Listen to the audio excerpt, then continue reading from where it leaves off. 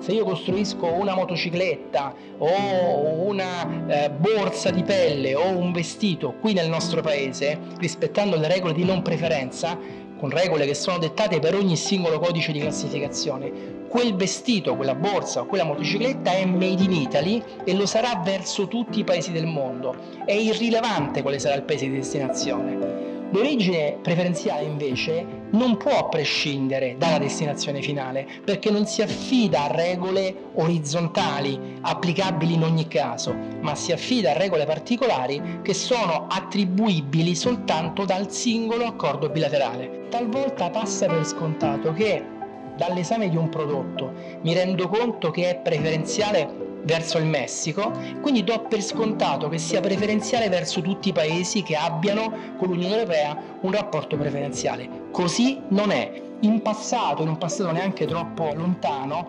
bastava la consapevolezza che un fornitore fosse di Como, di Lecco, di Padova per dire vabbè, ma alla fine è di Padova, quello che ho comprato da lui è certamente italiano e quindi è certamente preferenziale. Quindi quando io mi trovo ad esportare un prodotto che ha anche le componenti del mio fornitore padovano, lo dichiaro tranquillamente di preferenziale, preferenziale comunitario. Questo è un approccio molto pericoloso che si è rivelato pericoloso anche per una maggiore attenzione che l'autorità